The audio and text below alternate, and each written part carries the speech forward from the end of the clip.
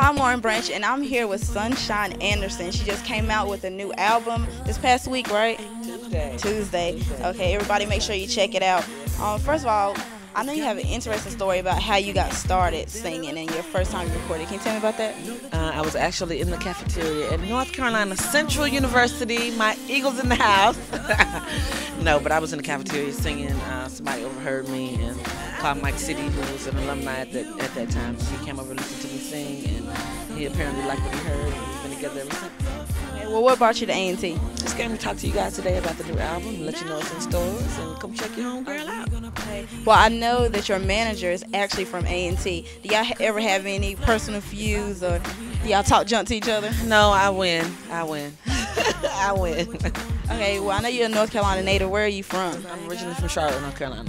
Yeah. I was born in Winston-Salem. Uh, didn't live there much of my life. Uh, moved away and then landed in Charlotte in 1981. So I've been there the majority of my life. That's why I claim Charlotte.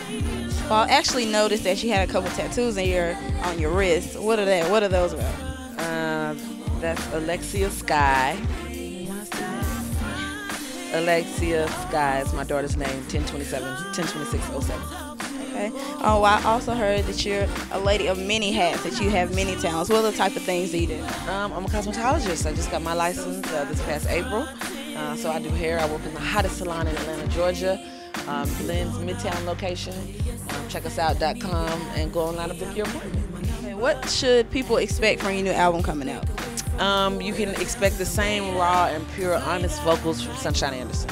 Um, I'm singing from my heart. Um, you know, I'm doing what I love, and um, they can expect good music, good R&B music. Well, you heard it straight from the source. I'm Lauren Branch. Once again, this is Sunshine Anderson.